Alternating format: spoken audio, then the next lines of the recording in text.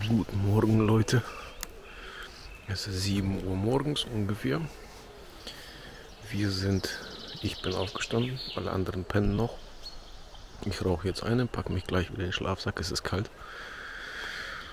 Aber äh, es ist schön. Ich zeige euch mal, wie die ganzen Leute da noch, noch pennen und was die hier für einen Unsinn veranstaltet haben. Das war ja gestern hier wahrscheinlich eine große Party, während ich gepennt habe.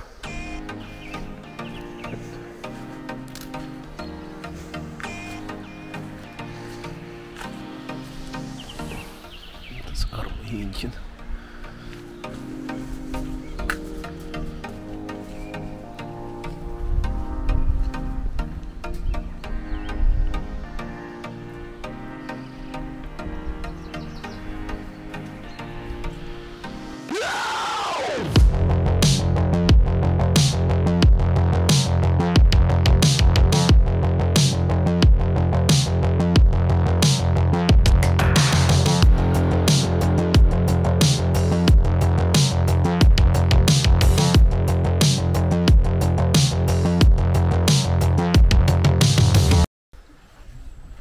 Ja, Leute, guck mal, hier ist schon Gewusel. Vitok macht schon wieder Kaffee. Unser Vitok ist unsere Kaffeemaschine. Also hab- bin ich der Rufeuerteufel jetzt los? Ja, genau, jetzt, jetzt bist du, jetzt bist du Kaffeemaschine. Daniel, ich will mal deinen dein Becher mal zeigen. Das ist, ja, das ist ja eine richtig heftig geile Erfindung. Schönes Teil. Wie sieht's aus, Leute? Geht's euch gut? Ja, alles gut. Alles Wunderprächtig. super. Ja. Ich habe jetzt auch mein eigenes Feuer. Ich werde das damit rumspielen. Na wunderbar. Ein Mann muss immer ein eigenes Feuer haben. Wie läuft's? Wie war die Nacht? Kein Kommentar. Sehr, sehr warm. Es war warm, ja. Es war aber auch kalt. Und wenig, wen- wenig Platz, weil wir auf den Bänken geschlafen haben und die waren eng. Das heißt, nicht mal auf dem Rücken konntest du schlafen, nur so halb Rücken, halb Seite. Eng ist gut. Ja, aber nicht, nicht Bank. Bank sollte breit sein. So Leute, das ist unsere Hütte. Wir verlassen sie. Es ist schön gewesen hier. Das Wetter, das Wetter ist genau Müll haben wir mit. Das Wetter ist geil und deswegen machen wir uns gleich auf den Weg. So.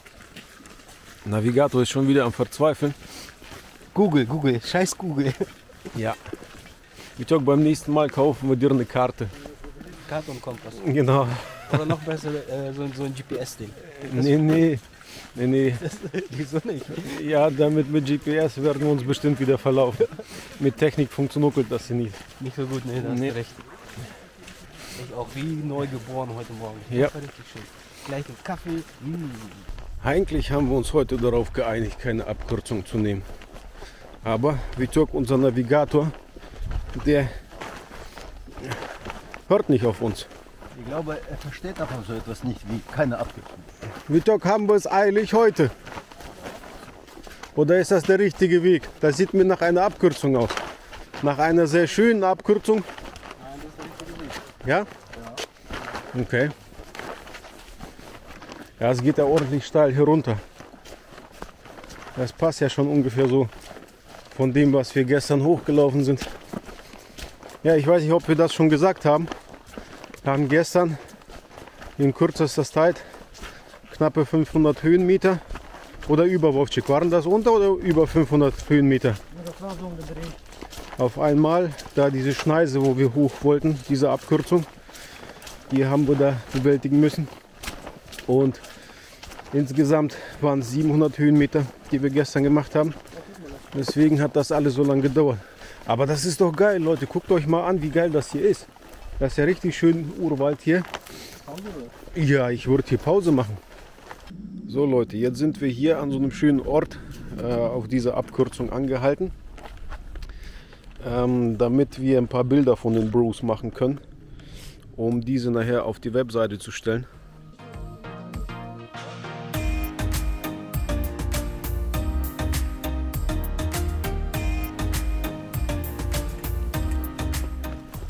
Jetzt haben wir uns schon darauf gefreut, nicht wieder hochzulaufen. Und Witjok, seine Abkürzung ist immer tückisch. Witjok, müssen wir schon wieder hochlaufen oder was? Müssen wir schon wieder hochlaufen? Ja, nutzt ja nichts. Google sagt. Katastrophe. Also es gibt zwei Probleme bei uns. Das ist Witjok und das ist Google. Wieso bin ich jetzt ein Problem?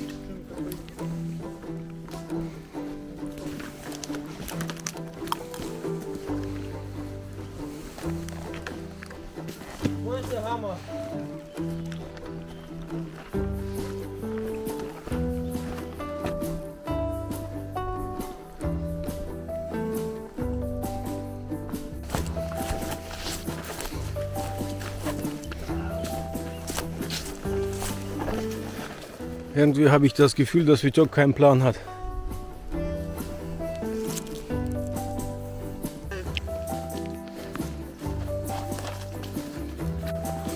Jetzt hat unser Reiseführer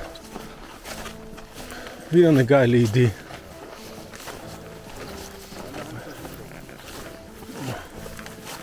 Der will hier den Weg runter. Also, Leute, habt ihr Skier eingepackt? Ich gehe lieber außen rum. Das wird eine Arschrutschpartie.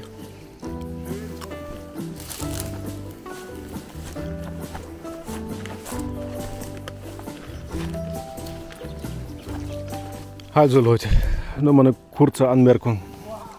Wenn ihr mal ordentlich wandern wollt, also jetzt richtig heftig wandern wollt, dann holt euch Vitjok als Reiseführer. Mit dem werdet ihr bestimmt nicht auf dem normalen Weg laufen. Und dann kommt so eine Scheiße wie jetzt eben bei raus.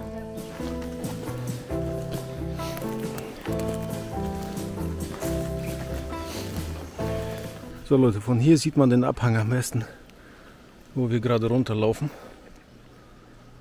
Ja, die 500 Höhenmeter, die wir gestern hochgeklettert sind, klettern wir hier gerade oder steigen wir hier gerade in ein paar Minuten ab. Macht aber Spaß. Vitjok sei Dank. Und diese ganze Vegetation, diese hier, diese trockene, die wickelt sich um die Füße. Und dann ist es echt schwierig, hier zu laufen. Weil kann jederzeit passieren, dass man mit dem Kopf nach unten auf die Fresse fällt. Guck mal Leute, wie hübsch das hier ist mit dem Maiglöckchen. Haben sie ihre natürliche Vegetationsgebiet hier.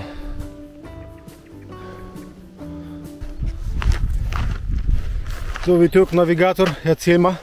Diese Richtung gar nicht weit. Na, wunderprächtig. Dieser Weg ist gar nicht eingezeichnet. Nee? Das ist ja Google. Ja, ja, ne? Den wir jetzt runtergegangen sind, ne? Der ist drauf, ja. Nee, jetzt ganz ehrlich. Also der ist wirklich nicht drauf. Okay. Es geht weiter runter ins Tal. Und hier schöne Bauwerke. Ein schönes Häuschen. Das wäre für heute eine richtig geile Übernachtung.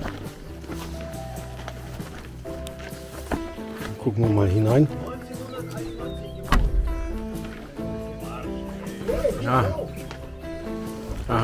Das ist einfach nur ein Geräteschuppen. Nichts Außergewöhnliches. Aber hier wäre heute Nacht richtig geil gewesen. Ja, guck mal, da immer die Hängematten hängen. Ja. Oh, guck mal, guck mal nach oben. Was denn? jetzt aufs Dach. Was denn? Wer ist da? Katze! Oder was ist das? Na da in der Ecke. Oder ist es ein Vogel? Warte mal, verscheucht das mal nicht. Ich gehe mal von der anderen Seite. Das ist hier so, ein- so ein Waldtierchen ist das.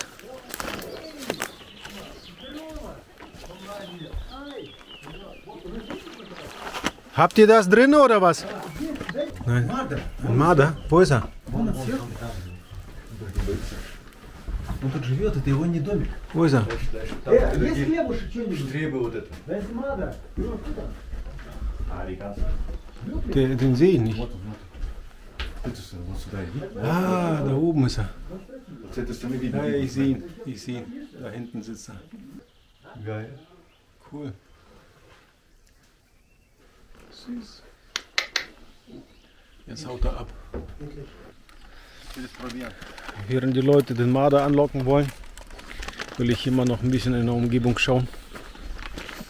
Weil das hier sieht doch richtig hübsch aus. Haben die Leute hier aus Stein eine Überfahrt da oben äh, hingemacht. Damit das Wasser auch durchfließen kann. Hübsch, hübsch. Der Marder ist abgehauen und wir gehen auch weiter.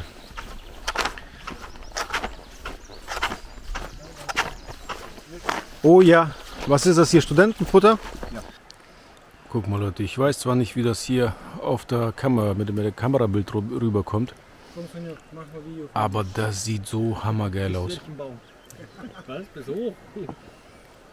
Und die Leute machen sich gerade Gedanken, wer jetzt hier mit dem Rucksack am schnellsten da oben ist. Also das will ich sehen. Komm, nächstes Mal. Ja, was hier? Das hast du gar nicht auf der Kamera. Nix.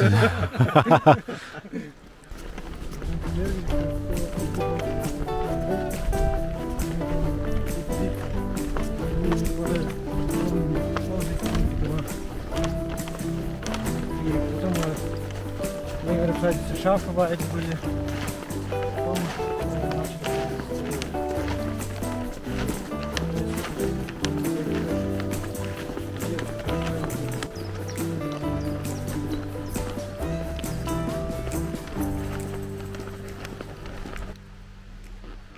Von steilen Abhängen geht es auch langsam wieder Richtung Zivilisation. Da hinten sehen wir schon ein Häusle. Irgendjemand lebt da oder ist es vielleicht ein Hotel? Und einen schicken, großes, großen See. Ja, guck mal Leute, das ist ja schon äh, richtig cool hier.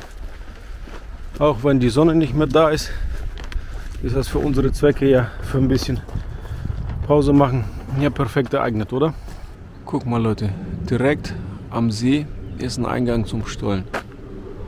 1925. Da würde ich gerne mal einsteigen, aber sieht nicht so aus, als wäre es hier ein Eingang in der Nähe. Scheißendreck. Mal gucken, die Leute sitzen da und wollen sich das Essen vorbereiten und ich gehe mal hoch, um zu gucken. Hier oben ist wahrscheinlich irgendwie noch so eine Luftungskammer. Aber die kriegt man nicht auf. Ja, schade. Das wäre doch jetzt noch richtig geil, hier in so einen Stollen einzusteigen. Hab Pech gehabt.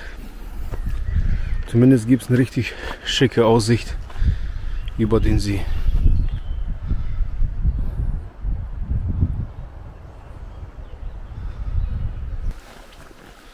Aus Pelmeni kochen ist nichts geworden, weil es angefangen hat zu pissen. Nun gehen wir weiter und gucken, ob wir da vielleicht wieder bestes Wetter erwischt. ja, ob wir was Überdachtes finden zum Pelmeni kochen. Was hier in Harz alles an Talsperren gebaut wurde, das ist Hammer. Und wenn man dann hier noch so nach unten guckt, das ist ja einfach nur Bombe. Richtig schön. Cool. Ja, guck mal Leute. Ich weiß nicht, ob ihr das aus der Ferne sehen könnt.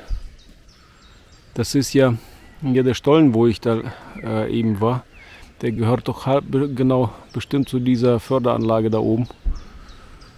Die, ähm, die haben hier wahrscheinlich irgendwelche Erze rausgefördert nach oben und dann verkauft oder weiter verarbeitet. Eine Riesenanlage, die wirklich hübsch aussieht. Schön in Stufen gebaut. Wunderprächtig. Wandern am Rande der Zivilisation. Von links schöne Natur.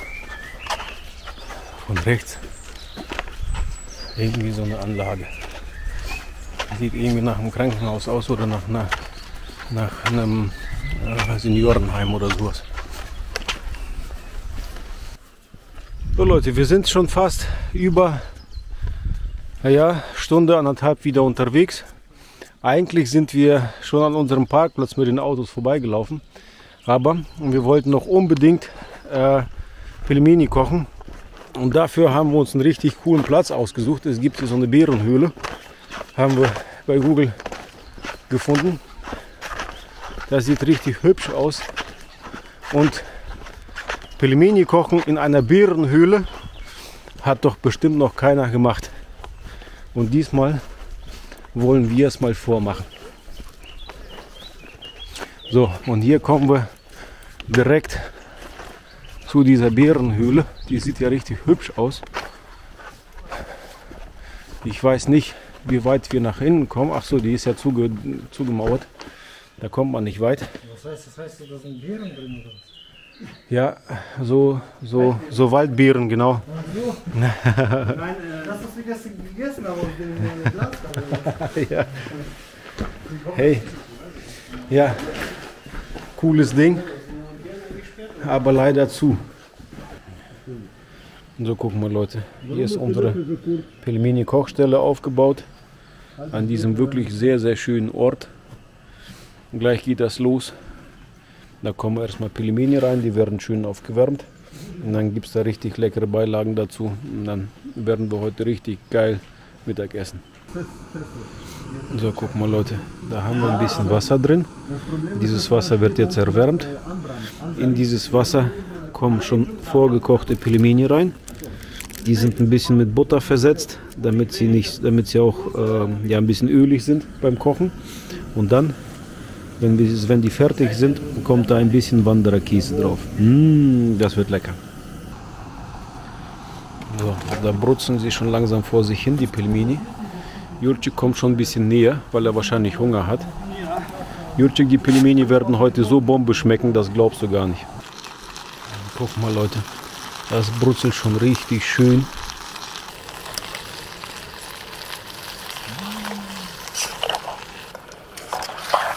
Schön mit Käse versetzte Pelmeni. Mm. So, Viktor, wie schmeckt das? Himmlisch, ne? Hammergeil. Echt lecker. Echt cool. So, ihr macht euers. Ich bin weg.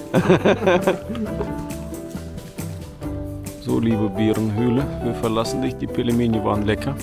Damit verabschieden wir uns. Bis zum nächsten Mal. Die nächste Wanderung kommt bestimmt. Auf Wiedersehen.